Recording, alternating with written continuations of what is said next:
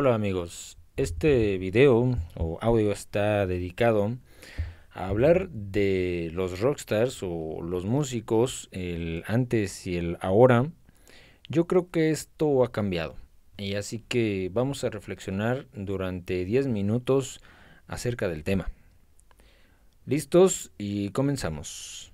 Por ejemplo, en el caso del señor David Bowie, muchos lo conocen, una gran figura de la música anglosajona o más bien, ¿cómo se podría decir? Americana o en inglés, pues. Este señor eh, que ha hecho de todo, mm, ha hecho pintura, ha hecho música, ha hecho hasta actuado, ha tenido diferentes facetas y se ha colocado a él mismo en pues como el camaleónico, todo el mundo se refiere a él como una persona multifacética y bastante, bastante interesante, ya que el solo mirarlo, ves las diferentes fotografías, puedes verle diferentes caras, diferentes peinados, diferentes formas de vestir. Y al respecto, pues hasta resalta una en donde a él se le ve con los ojos de reptiliano. Eh, tiene muchas, muchas facetas y esta sobre todo es curiosísima no sabes eh, la intriga que da también por, por el tema de los reptilianos, ¿no? Pero bien, ese tema lo podemos tocar después eh, y ahora vamos a concentrarnos en lo que es la música. Por ejemplo, hay una canción que a mí en lo personal me gusta mucho, que es Starman, eh, con el solo y todo, pues podríamos averiguar o dar cuenta de que se destaca bastante, muchísimo, y esto es el resultado de un trabajo arduo y de saber eh, cómo aplicar eh, lo que es la ciencia del tiempo y el tono, las escalas, en un instrumento como lo es la guitarra eléctrica, algo que estaba muy en boga en aquellos tiempos, pues los 60s y 70s eh, dependían mucho de lo que había en aquel entonces, era la adaptación de la guitarra acústica, ya lo sabes con la Fender y todas esas marcas, de estos genios que supieron aprovechar bien lo que era la tecnología en aquellos momentos para ponerla, pues toda esta imaginación de los músicos o personas que simplemente querían ver una adaptación o un avance tecnológico y no quedarse en lo que era la guitarra acústica. Imagínate si no hubiéramos avanzado en ese aspecto.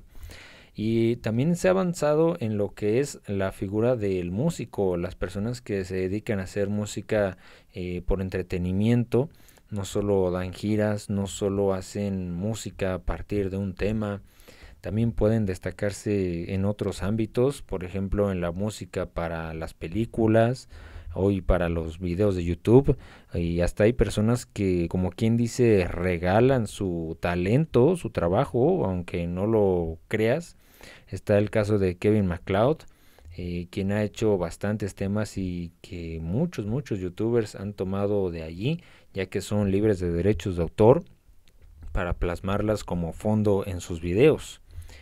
Y bien, pues ese es el caso de los músicos que hacen música por amor al arte, ¿no?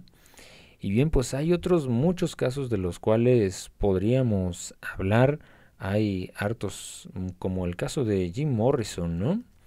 este otro cantante que en principio no era un cantante sino un poeta, ¿no?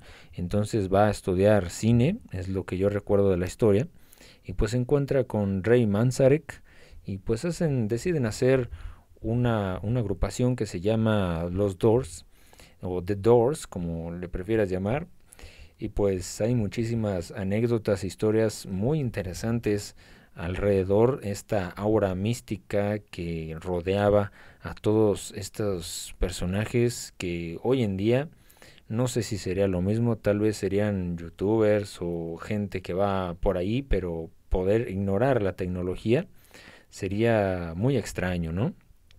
No dudo que haya casos actualmente parecidos a los que vivía antes eh, estrellas como Jimi Hendrix o los Beatles, que se dice que ellos eh, comenzaron lo que era esto de las giras y el estrellato, que los chicos, no sé, se convirtieran en, pues en otro, en otra cosa, ¿no? Que no era solamente aquellos que se quedaban, eh, no sé, en los bares o en las cantinas para amenizar eh, las fiestas, ¿no?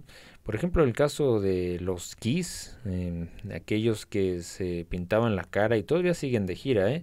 que por cierto, según eso van a estar en un festival de música acá por México y va a estar interesante, ¿no? Porque es su última gira, por cierto.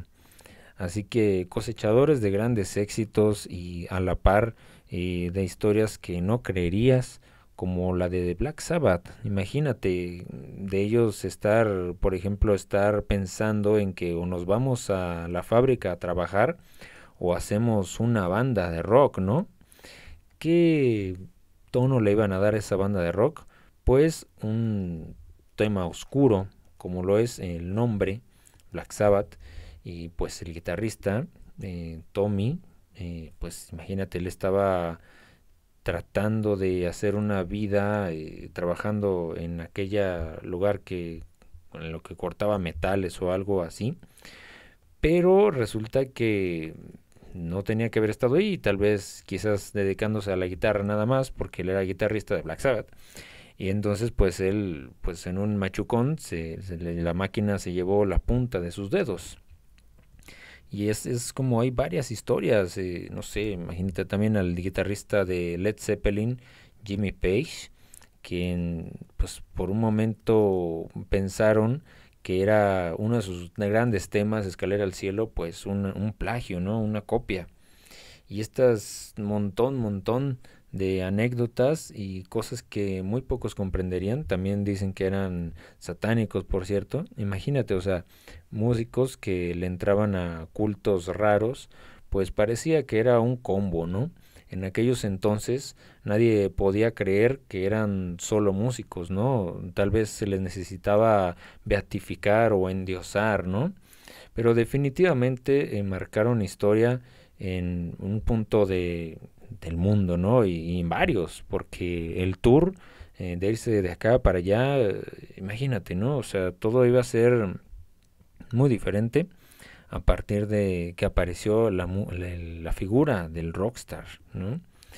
Hoy en día eh, ya no se necesita ir a un concierto o a un lugar para ver a esa presentación de esa banda y por también si estás en otro país pues ves eh, a gusto el concierto en YouTube, ¿no? Ya tienes como una noción, ¿no? Pero otra cosa sería estar ahí, ¿no? Con toda la esencia y la efervescencia de las personas, ¿no? Pero, ¿qué tal estar allí frente a todos los fanáticos y todas las personas que hacen coro, ¿no? Es una sensación diferente y esto que sucedió a partir de quizás los años 60 o 50, ya había una muchas, muchas personas que se reunían al torno, en torno de un escenario, pues querían ver la actuación de pues una, una banda, ¿no? De rock o de cualquier género. Eh, conforme avanzó el tiempo, ya podemos ver otras figuras como Daft Punk, como, no sé, muchísimas otras agrupaciones. la sola figura del DJ, ese DJ que ya pone las pistas sin siquiera pues aprender notación musical, teoría musical. También es un tema que podremos tratar porque aquello es mm, un show musical o la persona se podría decir que es un músico. Quizás si sabe de música y aplica sus conocimientos, pues por supuesto, ¿verdad? Pero no nos vayamos a desviar. Eh, si el tema es aplicar eh, la teoría musical a un show, pues eso cabe decir que eso es ser músico, aunque sea contemporáneo, pues, porque realmente cuando empezó todo en la música, se empezaban a implementar o a, hacer los instrumentos, sí que había que saber bastante, ¿no? No solo llegar y aprender a tocar un instrumento, sino que saber cómo aplicar la teoría musical y quizás saber algo de física, ¿no? Para esto de cómo lograr ciertos sonidos, ¿no? eh, me viene a la mente el tema del theremin, aunque no es precisamente un instrumento musical convencional, pues puedes ejercer eh, tú mismo cuando te acercas al aparato y extiendes tus dos manos una influencia sobre las ondas que se están emitiendo a partir de una caja con un par de antenas y entonces eh, ese tipo de aparatos eh, se tiene que saber, se tiene que mm, aplicar en las películas de terror y cosas así de ciencia ficción. Y realmente es un, ah, un efecto bastante, bastante interesante. Y bien, pues 10 minutos ya. Eh, me fui por un lado y por otro. Espero que hayas entendido algo. Si no, pues eh, sin duda puedo responder las preguntas y podemos extendernos todavía más. Si quieres sugerir algún otro tema con respecto relacionado o cualquiera que a ti se te ocurra, pues bienvenido de verdad. Hasta la próxima, muchas gracias por asistir a este canal y suscríbete y comparte, que es muy importante para el apoyo, eh, para que yo siga haciendo videos. Hasta la próxima.